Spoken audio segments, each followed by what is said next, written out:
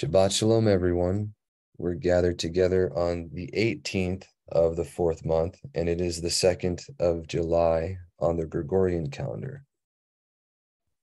Uh, we're still currently reading through the recognitions of Clement together, and right now we're getting ready to go through Clement's dissertation or teaching on the paganism of the Greeks he's saying this for the benefit of Kepha, but he's also speaking of the disgusting things that they do so that those that worship him can acknowledge that they're not profitable and turn from it. And at the end of this, while it is unpleasant, they ask why, why people would even worship these things. And it, it's explained um, why the demons do that. So to get right into it, this is chapter 20 of book nine, The Doings of Jupiter or it could be book 10, I'm sorry. But it says, But enough of the old wives' fables and genealogy of the nations. See, because that's what those false mighty ones were. They were the patriarchs of the nations that were venerated later on. And it makes more sense when you think about it because they lived hundreds of years, not as long as the ones before them, but longer than their children did, right? Says, For it were endless if I should set forth all the generations of those whom they call Elohim and their immoral doings. But by way of example, omitting the rest, I will detail the immoral deeds of him only whom they hold to be the greatest and the chief, whom they call Jupiter. Now, that's what I'd forgotten. I wanted to look up in the, the telegram before we got started a link I shared with Brother Paul. I had found in the Clementine homilies. There was a section where Kepha was preaching or and talking about the messengers that came down. And he distinctly said that the stories or the base things that the watchers did were what the stories that the Greeks used for their mythologies. And that's what was being alluded to right here. All the things that you see here are what you can see that the watchers were capable of doing, changing their shape and mating with things that unnaturally and causing what you'd say the demi false mighty ones, right? But to continue. It says, For they say that he possesses heaven or Shemaim as being superior to the rest. And he, as soon as he grew up, married his own sister, whom they call Juno, in which truly he at once becomes like a beast. Juno bears Vulcan, but as they relate, Jupiter was not his father. However, by Jupiter himself, she became mother of Medai or Medea. And Jupiter, having received a response that one who should be born of her should be more powerful than himself and should expel him from his kingdom, took her and devoured her. Again, Jupiter produced Minerva from his brain and Bacchus from his thigh. Now, this her her name is something to do with a thought, right? That's why he says he produced her from his mind. And then Bacchus, it's not anything to do with a thigh, but it has to do with weeping. The brachionelis, or it's it's the weeping for Tammuz, but the Greek version. It says, After this, when he had fallen in love with Thetis, they say that Prometheus informed him that if he lay with her, he who should be born of her should be more powerful than his father. And for fear of this, he gave her in marriage to one Peleus. Subsequently, he had intercourse with Phesporone or Persephone, Persephone, sorry, who was his own daughter by Ceres or Crease. I'm sorry if I'm not saying these right. I'm not very keen on Greek mythology. Persephone. Persephone, thank you. Right. And by her he begat Dionysus. Um, this is also Hebrew. I can't remember the etymology of what it means at the moment, but it is rather interesting. I'll look it up for you later. It's found in Alexander Hislop's Two Babylons. Who was torn in pieces by the Titans. but calling to mind, it is supposed that his own father Saturn might beget another son, who might be more powerful than himself and might expel him from the kingdom. He went to war with his father, along with his brothers, the Titans, and having beaten them, he at last threw his father into prison and cut off his genitals and threw them into the sea.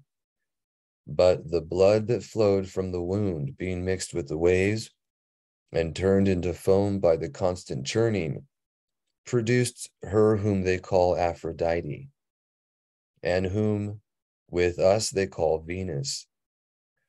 From his intercourse with her, who was thus his own sister, they say that this same Jupiter begot Cyprus, who they say was the mother of Cupid.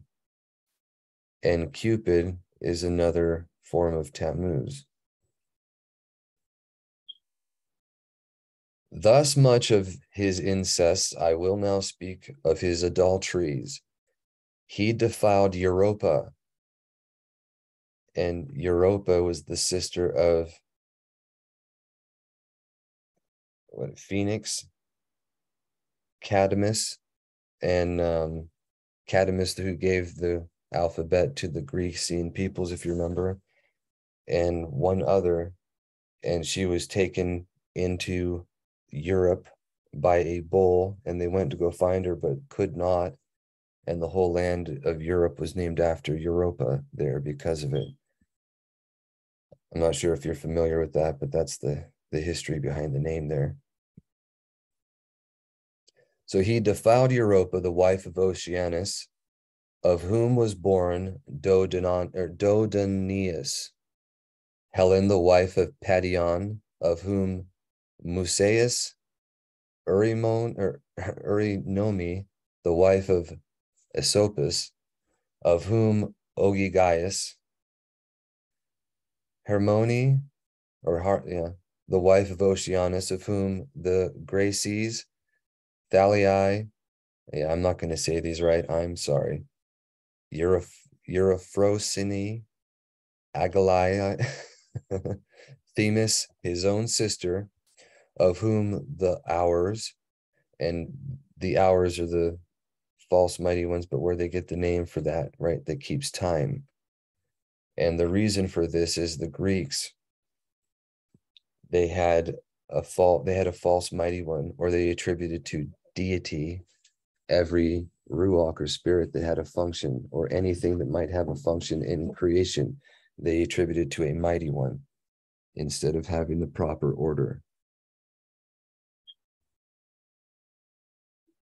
Euromonia, Dice, Irene, Theomisto, or Themisto, sorry, the daughter of Inechus, of whom Arcas, Idea, the daughter of Minos, of whom Astrion, Phino, the daughter of Alphion, of whom Yod, Yodimon, sorry, Yodmion, Io, the daughter of Inchius, of whom Epaphus, Hippodramia, and Isonia, sorry, daughters of Danius, of whom Hippodramia was the wife of Olin, Olinius, and Isino, and Ocrominus, or Therese, Carmi, the daughter of Phoenix, of whom was born Barith, Barito Martis, who was the attendant of Diana, Callisto, and Diana is another name for Athena. Athena was the Greek version of Athen, which was the Kasdim version of Adon. The Dalet and the Tau being interchangeable with them, or the sound for it. So Athena is my lady, if you will. Right. There's so many songs in science fiction things that have these names and promote it, carried all the way back from these stories of the Greeks, which really came from the demons who lived through the times of the Watchers and carried all that stuff over to them. And then it was picked up hardcore by the Jesuits in the 1500s with the Jesuit theater. They they did plays and reenacted the the inappropriate things of the Greek. That's what the tragedies were. or that's what the theaters were during that time and they carried on even into modern times they still do it with marvel action uh, movies and whatnot but it says Castelo, the daughter of Lyconin, of whom Orcus, Lebi, the daughter of Munentita or Munetius, of whom Belus. Now, I don't know where he gets all these things. I can't attest for every one of them, but some of these names I'm familiar with. Okay, Belus is where we get Bel from, right? And Belus was another name for Ham. He was one of the first magicians, right? It said one of the first practitioners of witchcraft or magic. Lactona, of whom Apollo and Diana, Leandia, the daughter of Enremedon, of whom Horon, Lysithea, the daughter of Evenus, of whom Helenus, Hippodamia, the daughter of Bellerophon, of whom Sarpedon, Megaslite or Megalite, Megaclite, sorry, the daughter of Marcarius, of whom Thebe and Locris, Niobe, the daughter of Pheronius, of whom Argos and Pelasgus, Olympias, the daughter of Neoptolemus, of whom Alexander, Phra, the daughter of Prometheus, of whom Helmithesis Protogenia, and Pandora, the daughters of Delusion, of whom he begat Ateth Atethelius and Doris and Melera and Pandorus, Thiorusia, the daughter of Proteus, of whom was born Nymphus, Salamis, the daughter of Osiphus, Osippus rather, of whom Saracon, Taigate, Electra, Maya, Plutide, daughters of Atlas, of whom respectively he begot Lysidemona, Dandarnus or Dandanus, Mercury, and Tantalus. And this isn't necessarily all true because Lacedaemonians were Hebrews. Dan Dardan was Darda was a son of Zerah. So th- these are just the stories that they carry down, right? And they have all these names attributed to all these false mighty ones to claim that they came, they were all deified men. But it says Mercury and Tantalus, Phaethia, and the daughter of Pheronius, of whom he begot Achaeus, Chonia, the daughter of Armenius or Amernus, sorry, of whom he begot Lacon, Chalcia, a nymph of whom was born Olympus, Charadia, a nymph of whom was born Alcinous, sorry, of whom Alcinous, Cholrus, of or who was the wife of Ampicus, of whom Mopsus was born, Contina, the daughter of Lispus, of whom Polymedes, Hippodama, or Hippodamia, the daughter of Anistus, Trisongenia, the daughter of Paneus, of whom was born Theseus. Okay, sorry about that. Vile transformation of Jupiter. And the list that we just went through was just covering the adulteries of the one main mighty one that they worship.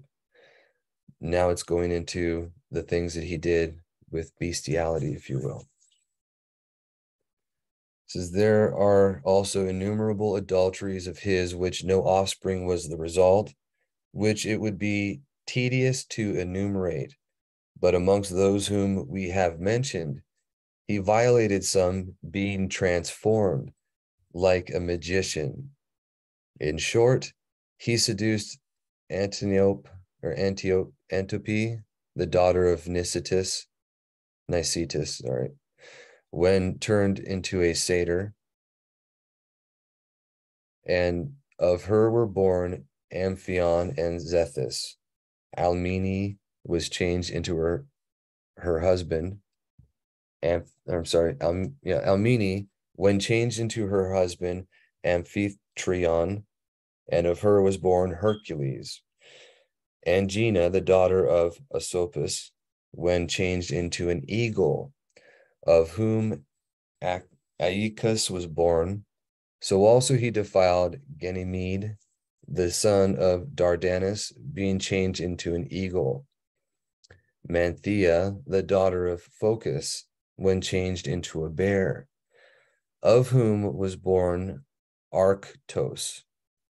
Danae, the daughter of Acrisius, being changed into gold, of whom Perseus. Europa, the daughter of Phoenix, changed into a bull, of whom were born Minos.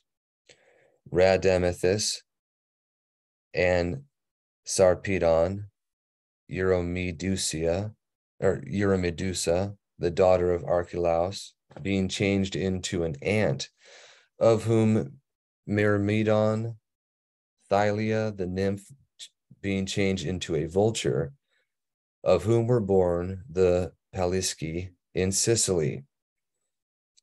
And if you think about it, after the time of the flood, where Nimrod and others were, he was became like a mighty hunter before Yahuwah. It mentions explicitly earlier in the book here that he learned magic or witchcraft from his fathers. And to be able to change shapes and to do other things was not an uncommon thing. It was what the watchers would do regularly. It's not something that we see as much anymore uh, openly, but it is quite prevalent even today. I'll give you one example. They have the a Chinese form of or an Asian form of magic mask changing, where they put their hands before their face or a little, uh, they'll wave a little towel or whatever they have in their hand, and different masks will pop up on their face. They they call it uh, they call it their type of magic. They make it seem like it's a parlor trick, but it's real witchcraft they do that kind of stuff too. David Copperfield was involved in real witchcraft with demons.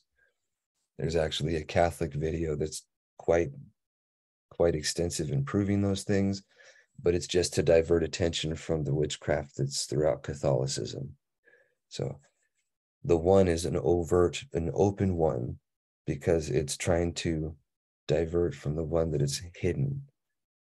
However, John Todd makes it very clear the only difference between the exorcism spell in witchcraft and in Catholicism is about six words, but they have the same source. I'm sorry, I didn't mean to do that. So getting back on track here, it says, Imandra, the daughter of Geneus, at Rhodes being changed into a shower, Cassiopeia or Cassiopeia, being changed into her husband Phoenix, and of her was born Antinos. Leda, the daughter of Thetis, being changed into a swan, of whom was born Helen, and again the same being changed into a star, and of her was born Castor and Pollux. Lamia being changed into a lapwing, meant Memnosine, I'm not saying that right, sorry, being changed into a shepherd, of whom were born the nine muses, Nemesis being changed into a goose, the Cadmean Semele being changed into fire, and of her was born Dionysius.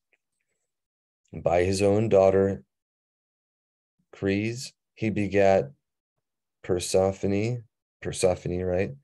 Persephone, there you go, whom also herself he defiled, being changed into a dragon.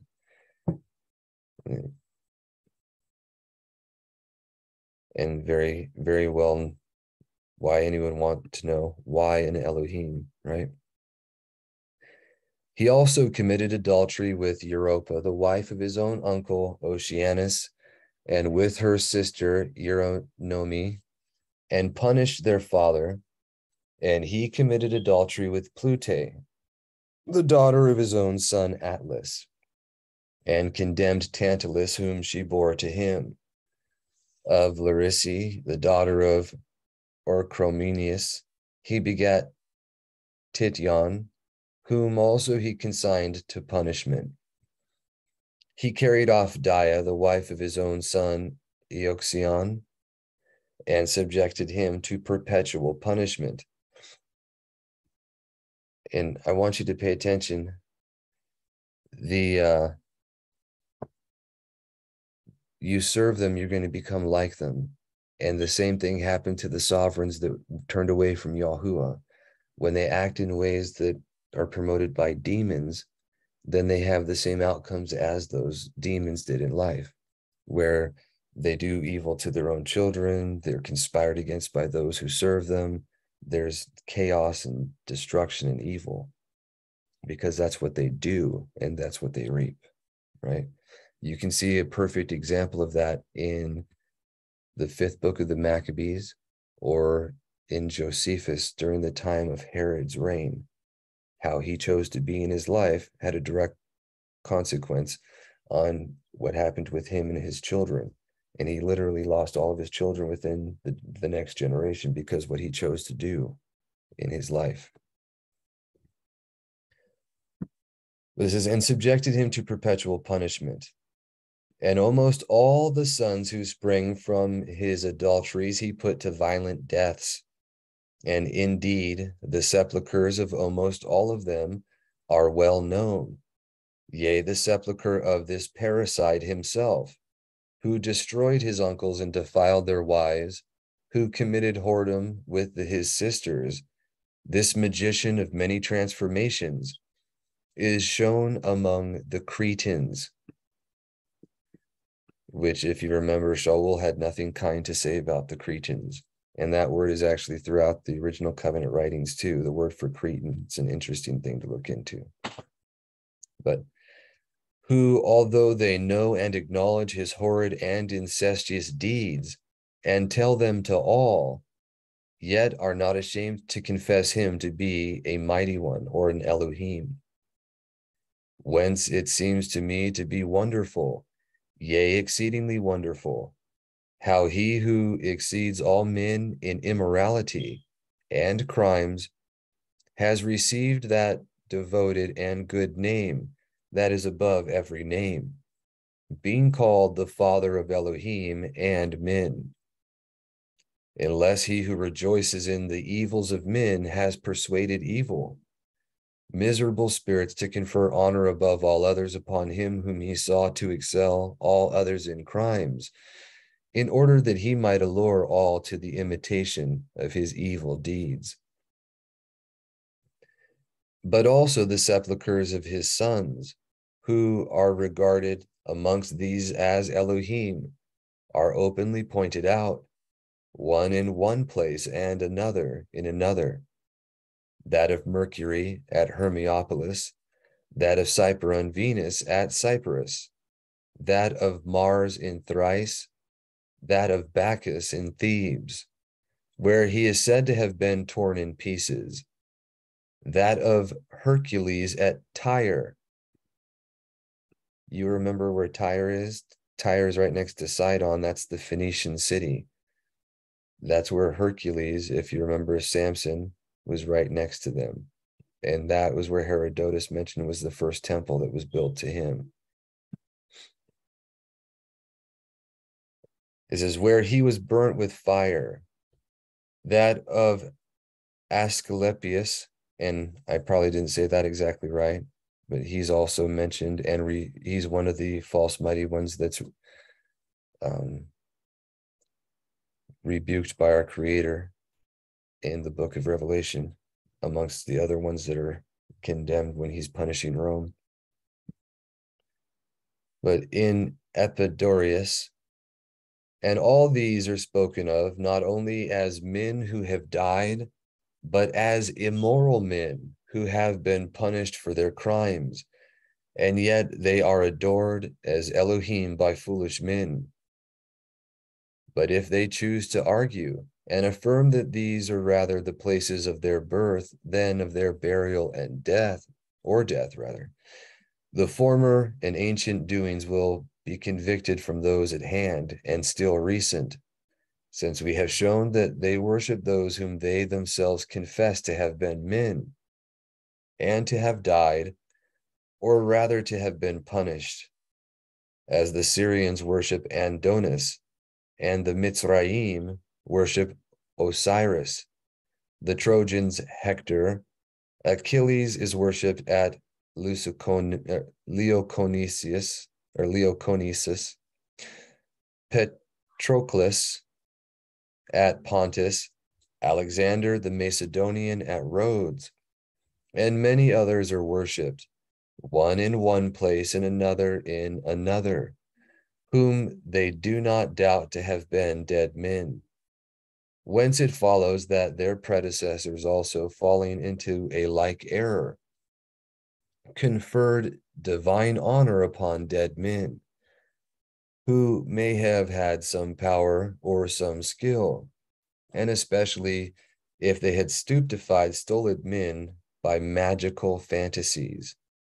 And the same thing that Mitzrayim did, if you remember, it talks about how he, using magic, called down lightning from the stars over and over to wow foolish men and upset the demon to the point where he was struck by it and killed.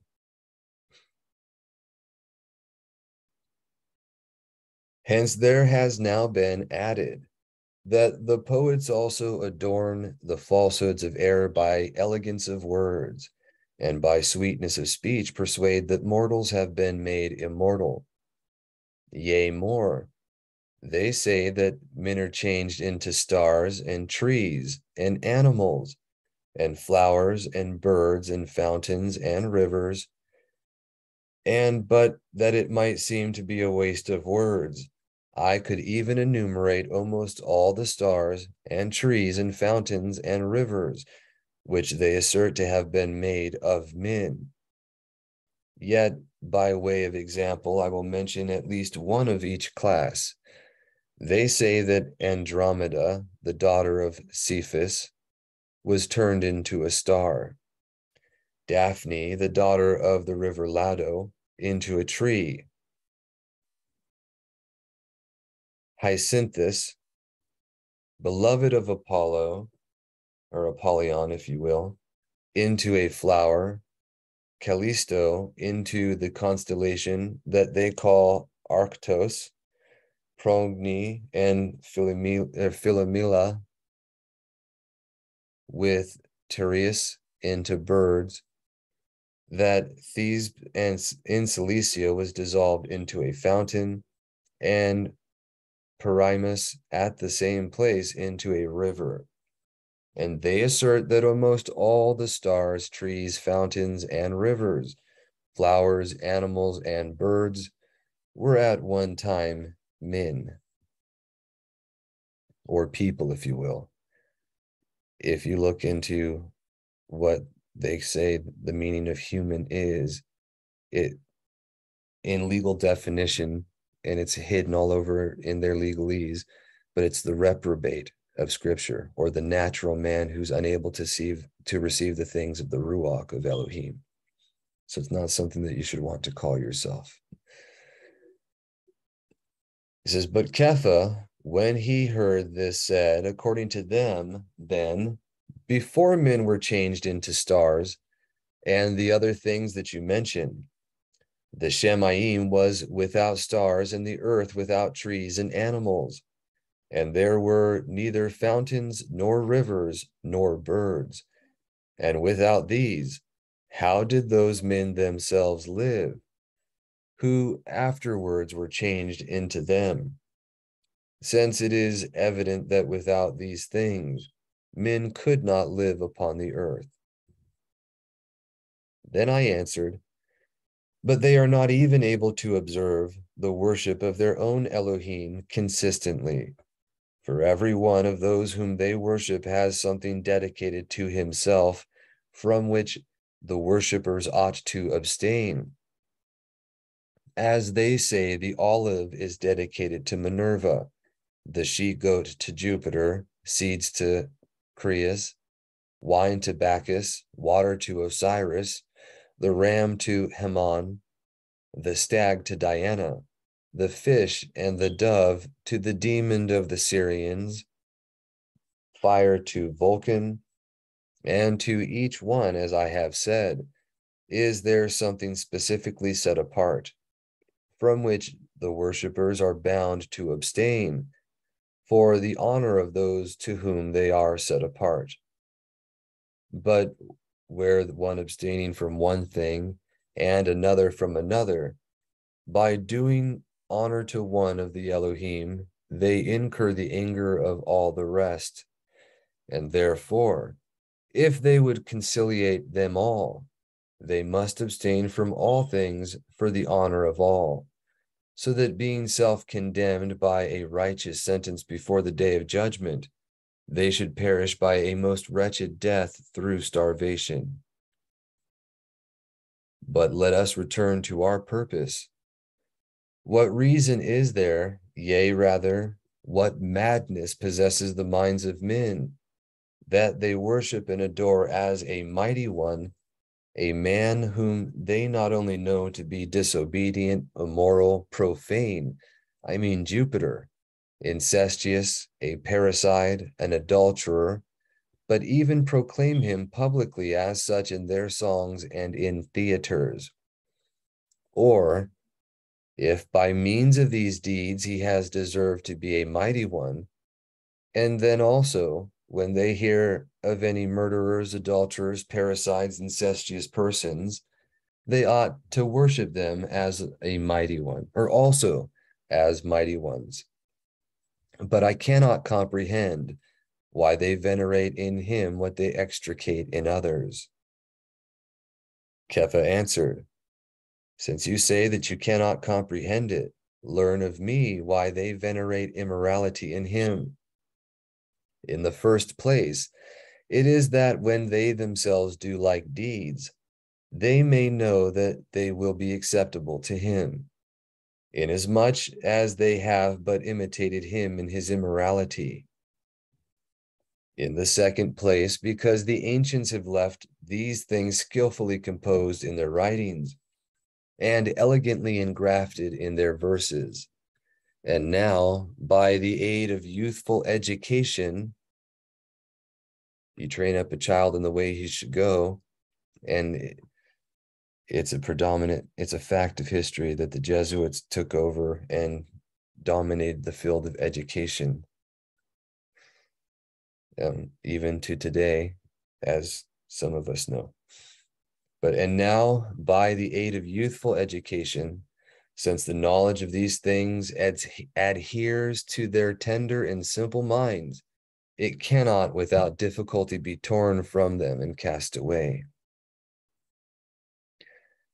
When Kepha had said this, Niceta answered, Do not suppose my master Kepha but that the learned men of the nations have certain plausible arguments by which they support those things that seem to be blameworthy and dishonorable. And this I state not as wishing to confirm their error, far for far be it from me that such a thing should ever come into my thought. But yet I know that there are amongst the more intelligent of them certain defenses by which they are accustomed to support and color over those things that seem to be absurd. And if it please you that I should state some of them, for I am to some extent acquainted with them, I will do as you order me. And when Kepha had given him leave, Niceta proceeded as follows. And this is the cosmogony of Orpheus. Orpheus was one of the people who came up with their idea of how things are or exist in the world, the cosmogony as opposed to cosmology. Okay.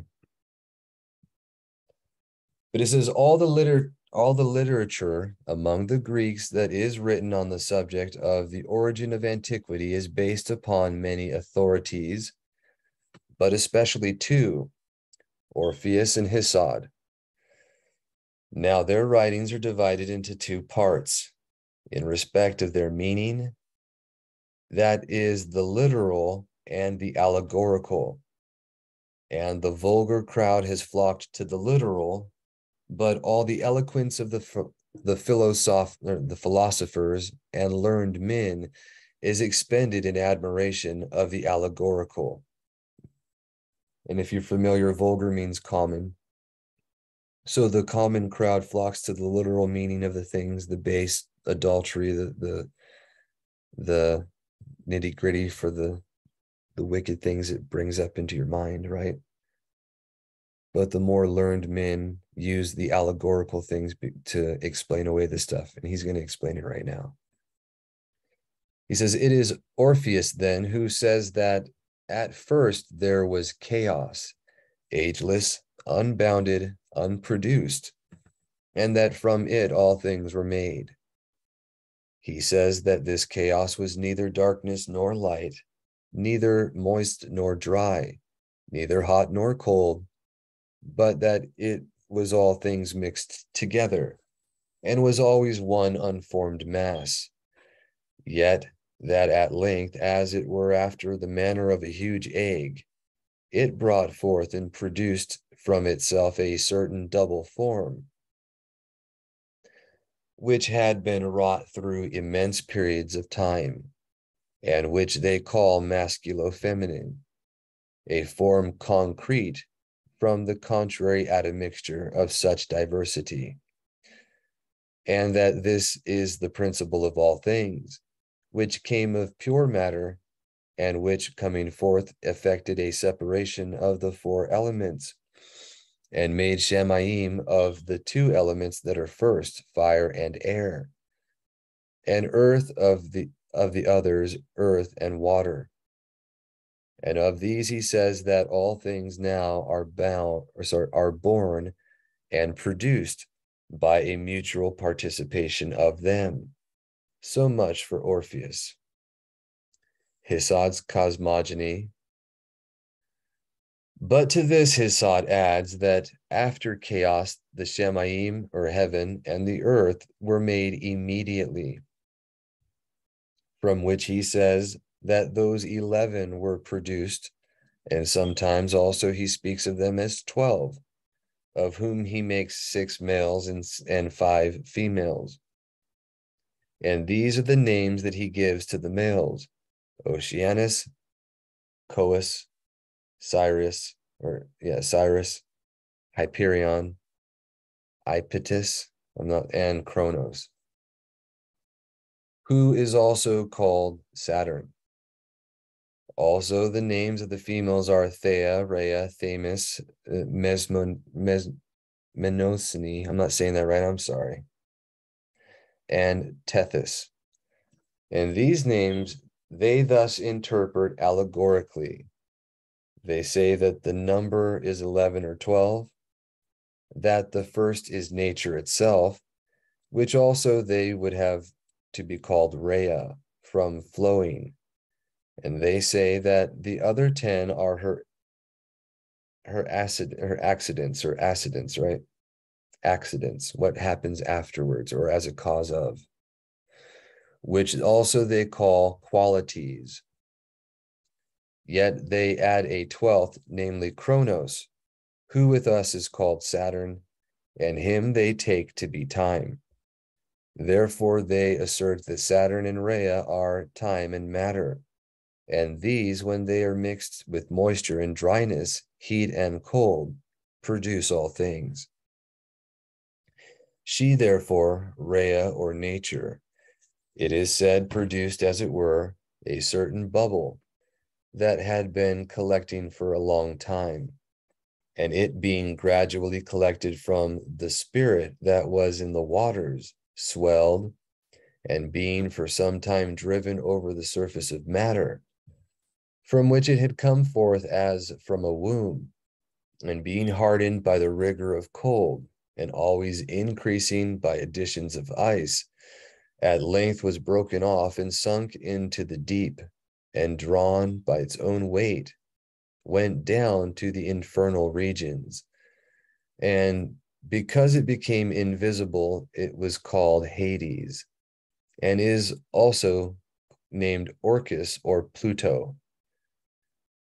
And since it was sunk from the top to the bottom, it gave place to the moist element to flow together, and the grosser part, which is the earth, was laid bare by the retirement of the waters. They say, therefore, that this freedom of the waters, which was formerly restrained by the presence of the bubble, was called Neptune, after the bubble obtained the lowest place.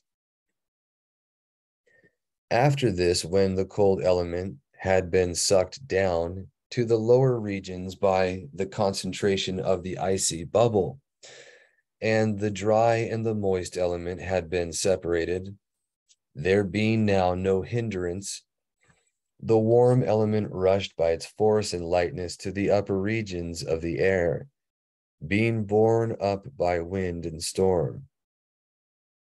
This storm, therefore, which in Greek is called katigio,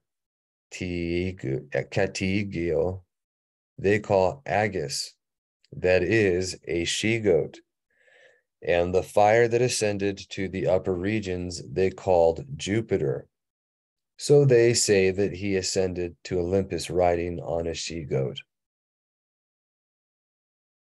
Now, this Jupiter, the Greeks would have to be called from his living or giving life, but our people from his giving succor or succor, right? Comfort.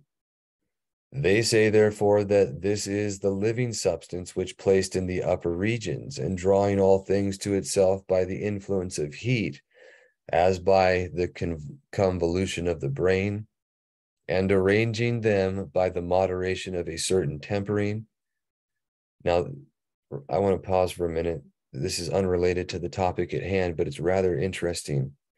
Right here, it says, and drawing all things to itself by the influence of heat as by the convolution of the brain.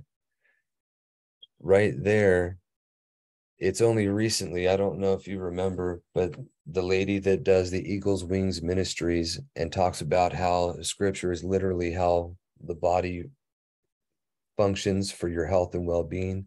Disease comes from wrong thinking and things of that nature she explored she mentioned that they did science they know as a fact that when you have a thought come to mind it can be something that you yourself think upon or that it is an influence from outside. But what you choose to dwell on in your free thought process like what you freely choose to think on yourself that's what's stored as a memory in the neurons that are that are formed as you think about it it's building nerves in your brain that are literally storing that as memories and the more you you think on it the stronger those memories will be the more roots you'll have in those neurons the more you do it. And um, the point is if you have a, a, a thought like anger or lust or anything come to mind and then you choose not to think about it you actively refuse or you put your mind on something else that thought literally turns into hot air in your mind. Literally. And she she mentions that in a few times in her videos but they have discovered that in in the medical field i want to say almost over a decade ago or about a decade ago. But back on point here. It says i'm going to start over with right here. They say, therefore, that this is the living substance which placed in the upper regions and drawing all things to itself by the influence of heat, as by the convolution of the brain, and arranging them by the moderation of a certain tempering, is said from his head to have produced Chokmah or wisdom, whom they call Minerva, who was called Athena by the Greeks on account of her immortality, who, because the Father of all created all things by his wisdom, is also said to have been produced from his head and from the principal place of all, and is represented as having formed and adorned the whole world by the regulated admixture of the elements. Therefore, the forms that were impressed upon matter, that the world might be made, because they are constrained by the force of heat, are said to be held together by the energy of Jupiter.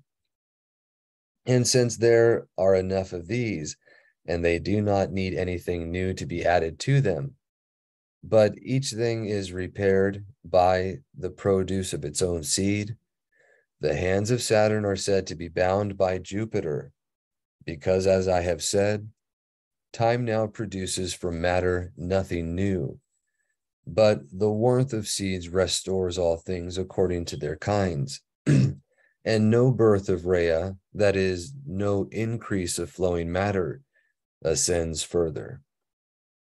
And therefore, they call that first division of the elements the mutilation of Saturn, because he cannot anymore produce the world or a world.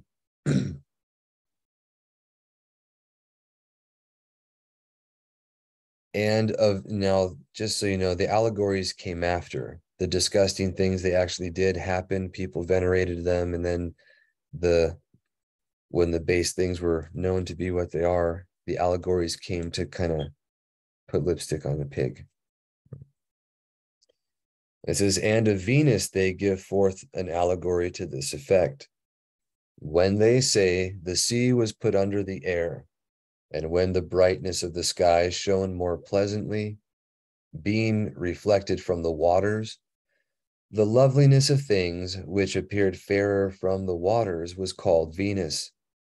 And she, it, being united with the air as with her, its own brother, so as to produce beauty, which might be the object of desire, is said to have given birth to Cupid. In this way, therefore, and that is the part of that son daughter that father mother daughter that father mother son worship part of the trinity from babylon that was part of the perversion that they picked up in this area for the greeks and romans. And that's pretty much the amalgamation going on. They had different mystery religions throughout the world but it was all based on the same error. And it was just adopted and amalgamated and conformed to as they were uniting themselves under different tyrannies.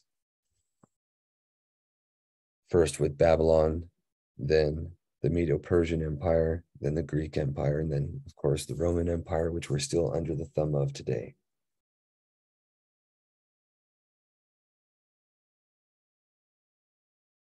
All right, so it says, so as to produce beauty, which might be the object of desire, is said to have given birth to Cupid. In this way, therefore, as we have said, they teach that Kronos, who is Saturn, is allegorically time. Rhea is matter. Hades, that is Orcus, is the depth of the infernal regions. Neptune is water. Jupiter is air, that is the element of heat. Venus is the loveliness of things. Cupid is desire, which is in all things and by which posterity is propagated, or even the reason of things, which gives delight when wisely looked into. Hera, that is Juno, and Hara, Hera is literally the gazer. And that had to do with a title or a, a name for Hua or Eve, who gazed upon the fruit of the tree that was forbidden and saw that it was goodly. This says, is said to be that middle air that descends from heaven to earth. To Diana, whom they call or Proserpine, sorry, I'm not saying that right. Proserpine, they hand over the air below. They say that Apollyon is the sun himself, which goes round the heaven, that Mercury is speech, by which a reason is rendered for everything, that Mars is unrestrained fire, which consumes all things. But not to delay you by enumerating everything, those whom or those who have the more abstruse intelligence concerning such things think that they give fair and just reasons by applying this sort of allegory to every one of their objects of worship. And when Niceta had thus spoken, Aquila said, Whoever he was that was the author and inventor of these things, he seems to me to have been very rebellious, since he covered over those things that seemed to be pleasant and seemly, and made the ritual of his superstition to consist in base and shameful observances, since those things that are written according to the latter are manifestly unseemly and base. And the whole observance of their religion consists in these that by such crimes and impieties they may teach men to imitate their mighty one whom they worship. For in these allegories, what profit can there be to them? For although they are framed so as to be decent, yet no use is derived from them for worship nor for amendment of morals. Whence it is the more evident that prudent men, when they saw that the common superstition was so dishonorable, so base, and yet they had not learned any way of correcting it, or any knowledge, endeavored with what arguments and interpretations they could to veil unseemly things under seemly speech and not, as they say, to conceal seemly reasons under unseemly fables. For if this was the case, surely their statues and their pictures would never be made, depicting their vices and crimes. The swan which committed adultery with Leda would not be represented, nor that bull that committed adultery with Europa nor would they turn into a thousand monstrous shapes him whom they think better than all. And assuredly, if the great and wise men who are amongst them knew that all this is fiction and not truth, they would or would not they change or sorry, would not they charge with rebellion and blasphemy those who should exhibit a picture or carve an image of this sort to the injury of the Elohim or the mighty ones, right?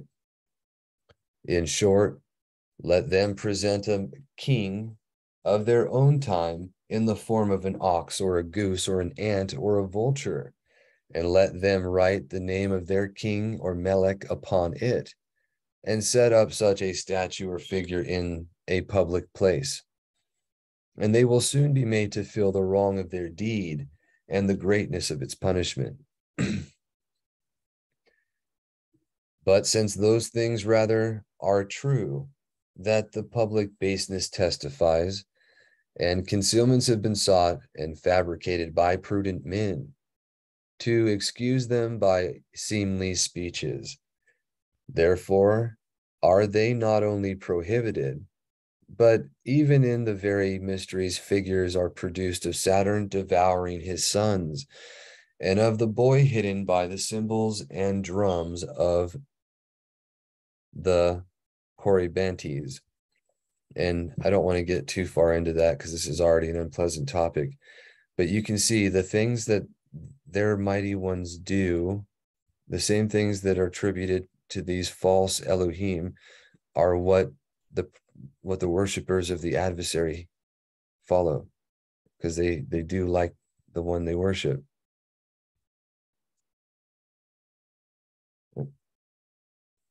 So it says Corybantes, with respect to the mutilation of Saturn, what better proof of its truth could there be than that even his worshippers are mutilated by a like miserable fate in honor of their mighty one? Since then these things are manifestly seen, who will not be found, or who will be found rather, of so little sense, yea, of such stolidity, that he does not perceive that those things are true concerning the unfortunate mighty ones, which their more unfortunate worshippers attest by the wounding and mutilation of their bodies. Writings of the poets, right? But if, as they say, and just to tie that in with scripture too, you had the priests of Baal, if you remember, they would cut themselves and do things when they're in the midst of their worship, trying to get their magical spells to be enacted, right? They would do incantations for cheap tricks from demons. And that's all pagan, it's all paganism is. The priests were magicians, just like in Egypt, and they did things to get power, just like when you're obedient to our creator, you are given his ruach and you have power from him the ability to do things to, to have um, what you say happen your prayers heard to heal others and do things that he enjoined. And that's all through history. In the same way the adversary has those who serve him and do the things that he approves of and they're given demons to do cheap parlor tricks to to in in contrast to the gifts of the ruach is the point but none of them are for the benefit of men. He says, But if, as they say, these things so credibly and obediently done are dispensed by so discreditable and disobedient a ritual, assuredly he is evil, whoever either gave forth these things at first or persists in fulfilling them, now that they have sadly been given forth. And what will we say of the scrolls of the poets? Ought not they, if they have debased the honorable and obedient deeds of the mighty ones with base fables, to be forthwith cast away and thrown into the fire, that they may not persuade the still tender age of boys that Jupiter himself, the chief of them of the mighty ones, was a parricide towards his parents incestuous towards his sisters and his daughters, and even impure towards boys. That Venus and Mars were adulterers, and all those things that have been spoken of above. What do you think of this matter, my master Kepha? And he gives how all is for the best. Even today, everything that happens is for the tov or the benefit of those who love Elohim. Right? Then he answered, Be sure, beloved Aquila, that all things are done by the Tob providence of Elohim, that the cause that was to be contrary to truth should not only be infirm and weak, but also base. For if the assertion of error had been stronger and more truth like, anyone who had been deceived by it not easily or would not easily return to the path of truth. But even now, when so many immoral and dishonorable things are related concerning the mighty ones of the nations, scarce anyone forsakes the base error. And that's the problem.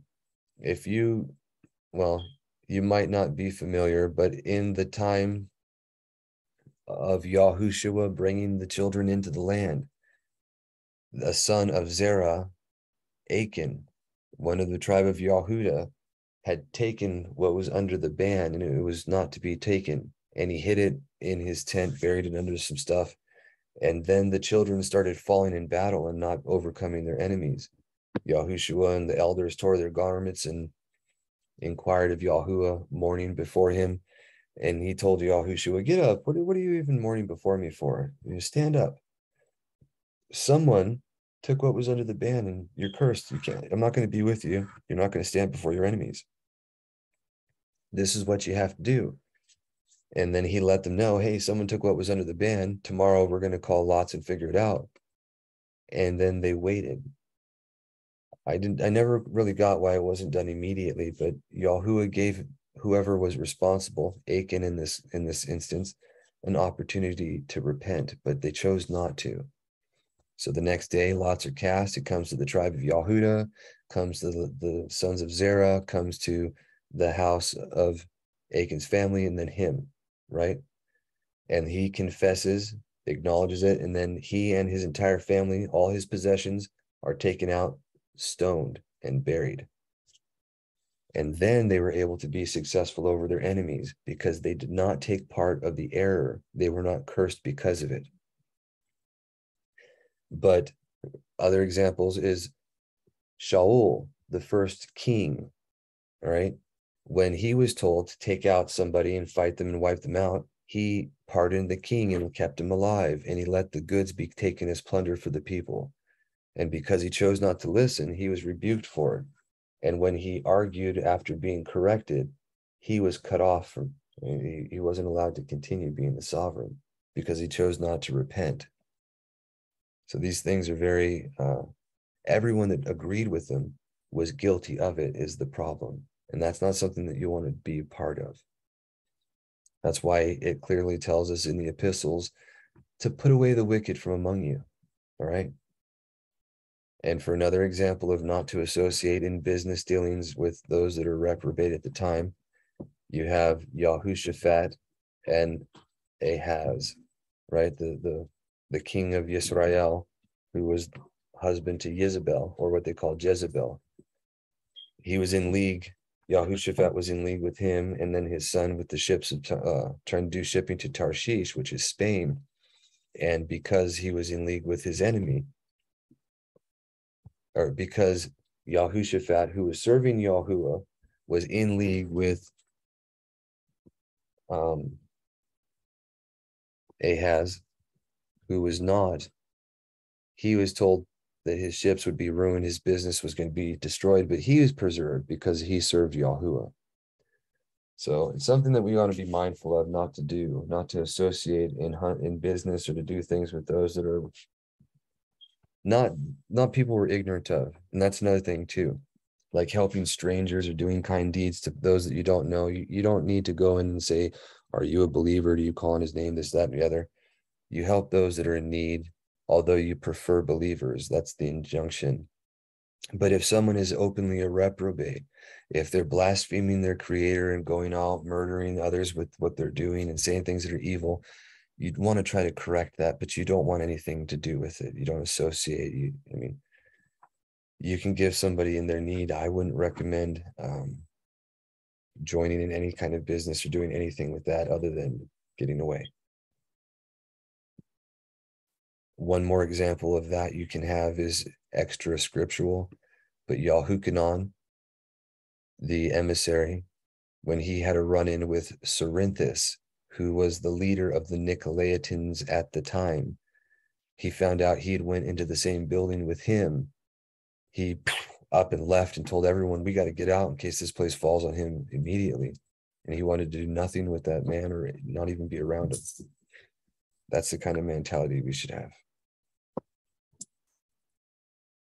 Just one moment.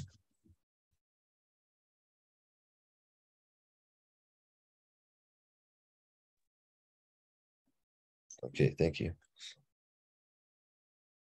But here, Kepha is explaining that the reason why it's so disgusting and base and so deplorable is because it's not the truth. And there's no, our maker didn't want to give any, anything worthy of attention to that side to be something that oh well there might have been something worth being deceived for It's absolutely disgusting. There is no redeeming features to it. And that was the whole point. So he says, For if the assertion of error had been stronger and more truth like, anyone who had been deceived by it would not easily return to the path of truth. If even now, when so many immoral and dishonorable things are related concerning the mighty ones of the nations, scarce anyone forsakes the base error, how much more if there had been in it anything seemly and truth like? For the mind is with difficulty transferred from those things with which it has been imbued in early youth. And on this account, as I said, it has been affected by Yahuwah that the substance of error should be both weak and base. But all other things also Yahuwah dispenses fitly and advantageously although the method of Elohim's dispensation, as good and the best possible, is not clear to us who are ignorant of the causes of things. When Kepha had thus said, I, Clement, asked Niceta that he would explain to us for the sake of instruction some things concerning the allegories of the nations which he had carefully studied. For, said I, it is useful that we that when we dispute with the nations, we should not be unacquainted with these things.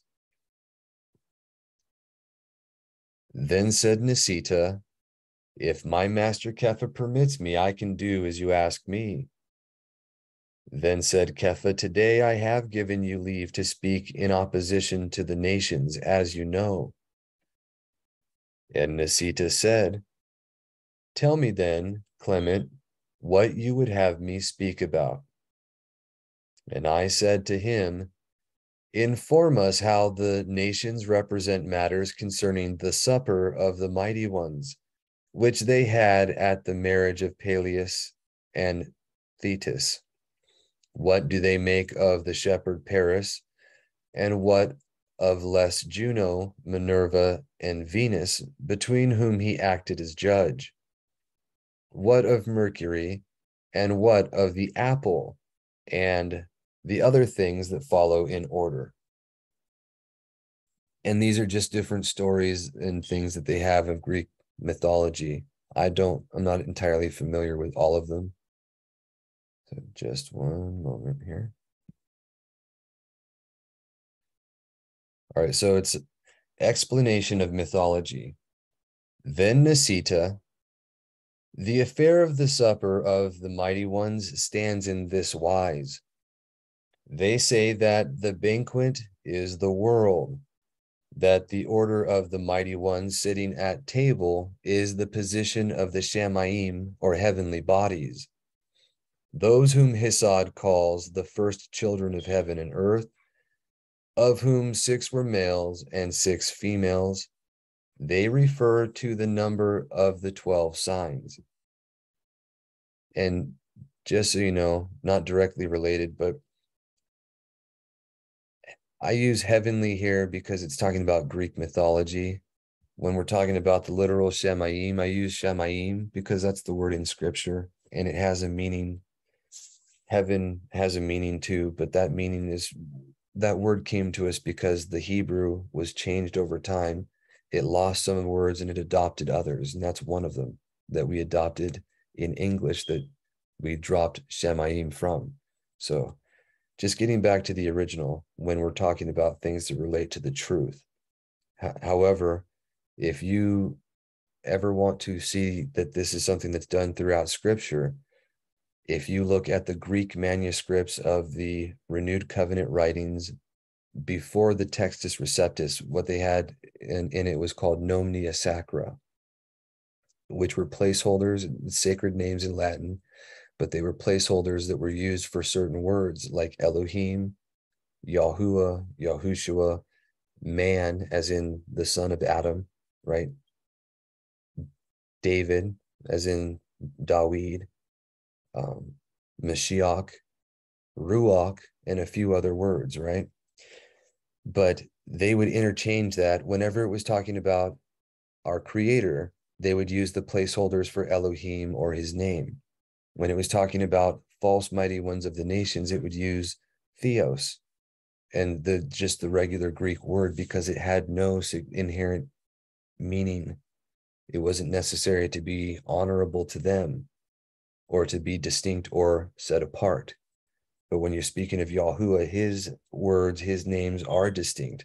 It's why I use Ruach or Ruach when I'm talking about the spirit of our creator, but I can use spirit or spirits when talking about the others, because that's what I see in the scriptures, in the placeholders that were in the original Greek manuscripts from the third century to the 14th century or so. And the reason why they use the placeholders instead of just having the, the Hebrew names written in anymore, which was what they originally did, was because the Hebrew language was banned by Rome and they were destroying all those writings. But back on track here, it says, which go around all the world they say that the dishes of the banquet are the reasons and causes of things, sweet and desirable, which in the shape of inferences from the positions of the signs and the courses of the stars explain how the world is ruled and governed. They say, or yet they say these things exist after a free manner of a banquet inasmuch as the mind of everyone has the option whether he will taste aught of this knowledge or of this sort of knowledge, or whether he will refrain. And as in a banquet, no one is compelled, but everyone is at liberty to eat. So also the manner of philosophizing depends upon the choice of the will. They say that discord is the lust of the flesh, which rises up against the purpose of the mind and hinders the desire of philosophizing. And therefore they say that the time was in which the marriage it was celebrated. Thus they make Peleus and the nymph Thetis to be the dry and the moist element by the admixture of which the substance of bodies is composed. They hold that Mercury is speech, by which instruction is conveyed to the mind, that Juno is chastity, Minerva courage, Venus lust, Paris the comprehension. And therefore they say, or say they, there is in a man a barbarous and uncultivated comprehension, an ignorant of right judgment.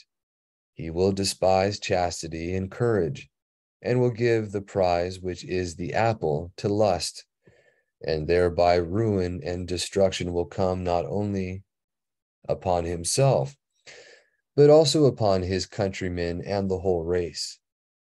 These things, therefore, it is in their power to compose from whatever matter they please, yet they can be adapted to every man.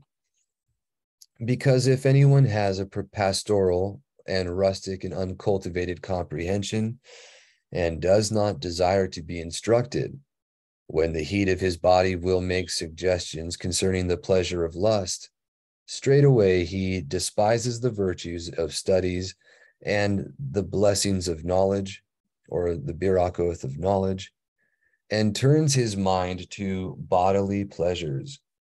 And hence it is that implacable wars arise, cities are destroyed and countries fall, even as Paris, by the abduction of Helen, armed the Greeks and the barbarians to their mutual destruction. Now, right here, he's talking about the cause of the, the, the siege of Troy, or the Trojan War. But if you read the ancient history of Caledonia, the Greek version is perverted. The Trojans kept what they called the laws of the altar. They were Hebrews that kept the, the words of Hanok and the, the testaments of the 12 patriarchs, what Abraham, Yitzhak, and Yaakov gave to his children to do, and the 12, that's what they did.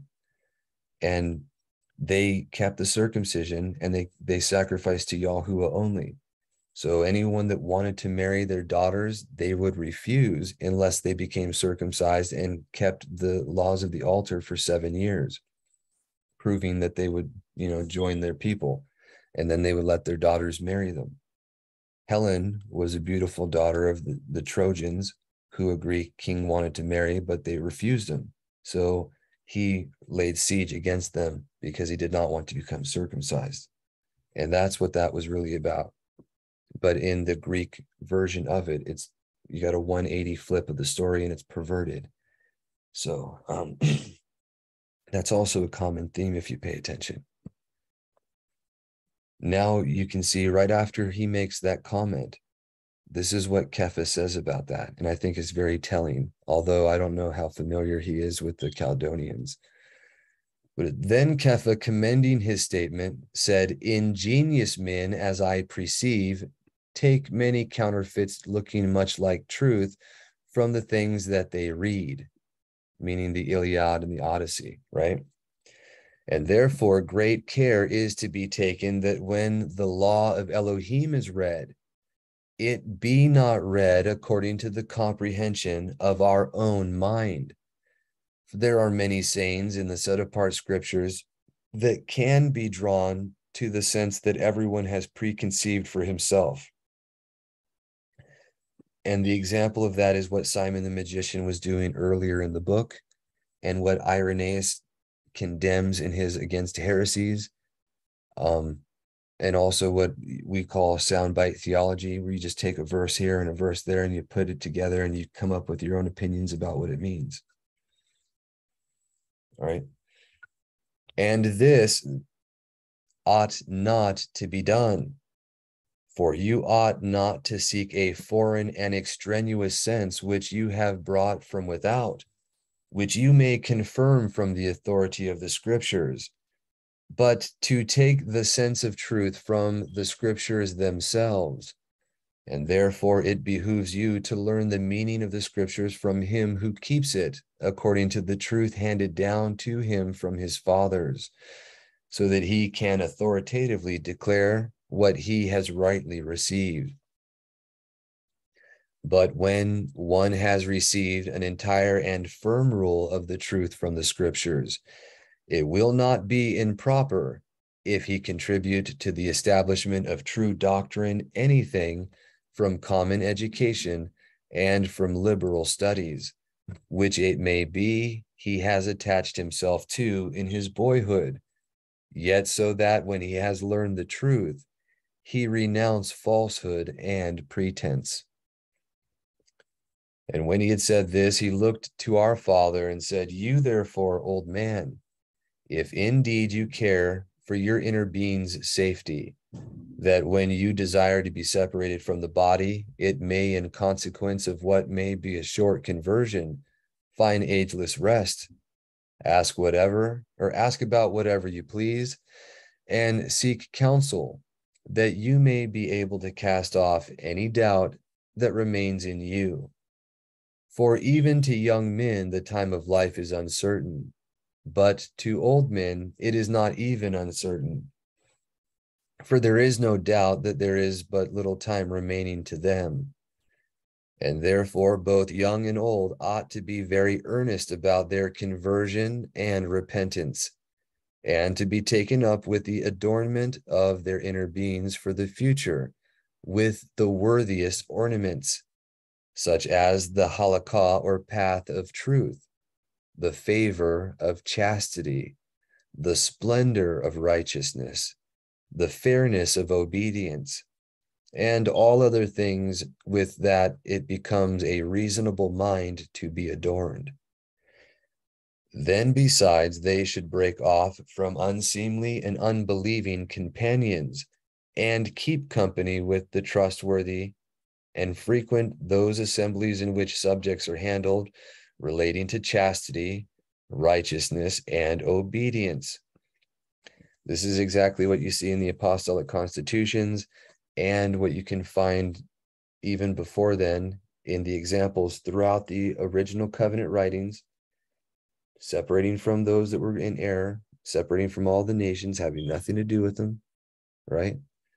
And you can see it also expounded on in Sirach ben Yahushua or Ecclesiasticus, where he tells you to go early to the door, get yourself to the door of a wise man, get knock on it early, and you, you listen to what he has to say, and you abstain and you get away from wicked people.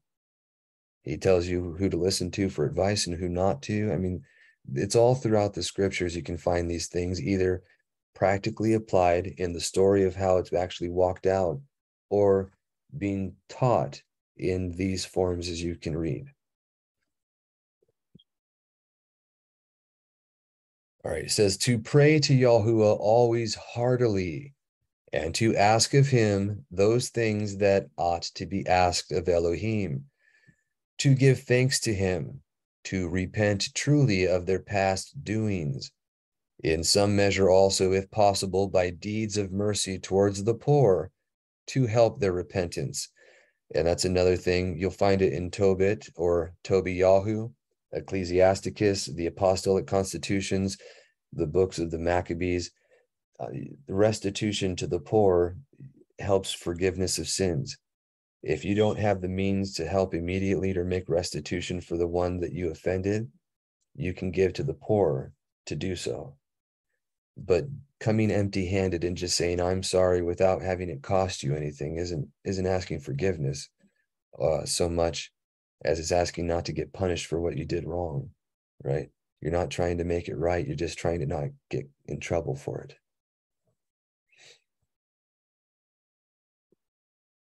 And if you recall, Yahushua Mashiach himself said, when you come to pray, when you come to the altar to give an offering, and you remember that anyone or your brother has a problem with you, not that you have an issue with somebody, but if anyone has an issue with you, you set down the offering and then you go and you make it right. You restore that relationship first, and then you come and make your offering to your to your maker.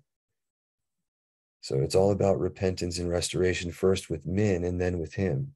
But we can't seek his face and forgiveness if we're if we're trampling on his image. It's not possible. For by these means, pardon will be more easily bestowed, and mercy will be sooner shown to the merciful.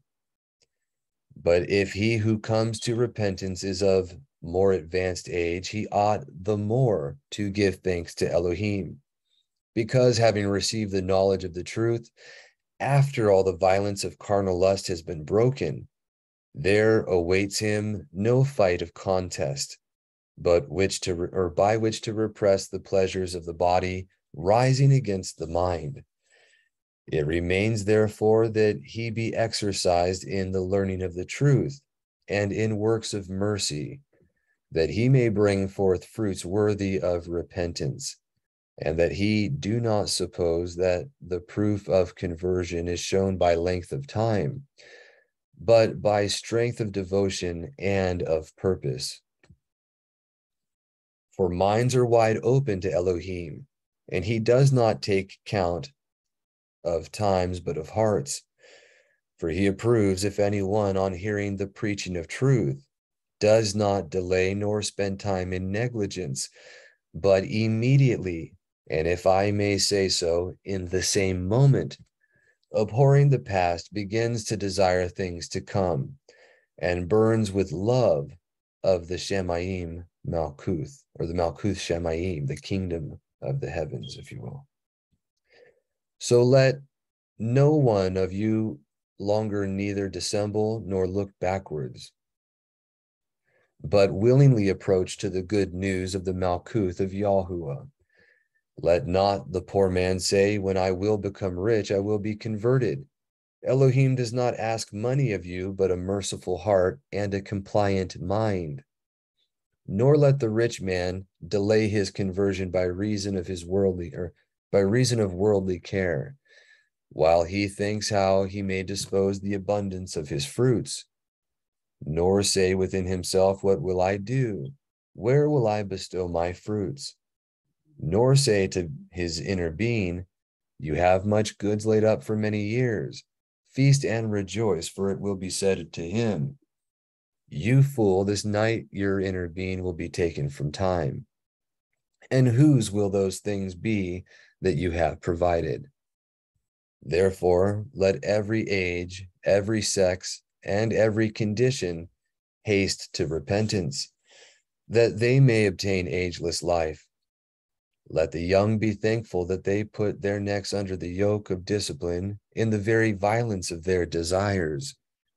The old also are themselves praiseworthy because they change for the fear of Elohim, the custom of a long time, in that they have been sadly occupied. Let no one therefore put off, let no one delay. For what occasion is there for delaying to do well? Or are you afraid lest when you have done well, you do not find the reward as you supposed? And what loss will you sustain if you do well without reward? Would not conscience alone be sufficient in this? But if you find as you anticipate, will you not receive great things for small and ageless for temporal? But I say this for the sake of the unbelieving. For the things that we preach are as we preach them, because they cannot be otherwise, since they have been promised by the word of the foreteller. But if anyone desires to learn exactly the truth of our preaching, let him come to hear. Let him ascertain what the true foreteller Yahushua is and then at length all doubtfulness will cease to him, unless with obstinate mind he resists those things that he finds to be true. For there are some whose only object it is to gain the victory in any way whatever, and who seek praise for this rather than their deliverance. These ought not to have a single word addressed to them, lest both the noble word suffer injury and condemn to ageless death him who is guilty of the wrong done to it. For what is there in respect of which anyone ought to oppose our preaching, or in respect of which the word of our preaching is found to be contrary to the belief of what is true and honorable? It says that Yahuwah the Father, the creator of all, is to be honored, as also his Son, who alone knows him and his will, and who alone is to be believed concerning all things that he has enjoined. Now, the one, the fact that he alone knows his will, it says that no man, no one has seen the Father but the Son alone. He, it says that throughout the renewed covenant writings, and you can go all the way to the book of Hanok, where Hanok himself is changed into a messenger in the Ruach and brought before the presence of the Father. He's able to perceive that the garments of the Father are brighter than the sun, but he cannot look upon him, and none, none of the messengers can either. Right? It's only the Son who alone knows him and his will. And that's why it says in the epistles with Shaul that the Father dwells in unapproachable light whom no one can see nor is able to see because he's perceived with the mind.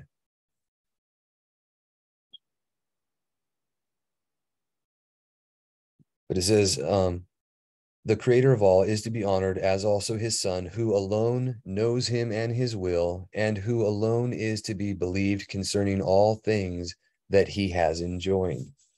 For he alone is the Torah and the Torah giver. So he's the word that was made flesh, but he's also the one who gave the Torah. Our Mashiach is the one who spoke on Mount Sinai with an audible voice, giving the commandments to men for them to keep. He's the one that made a covenant with men and ratified it with his own blood. And that's why he had to die. But most people don't quite get that connection.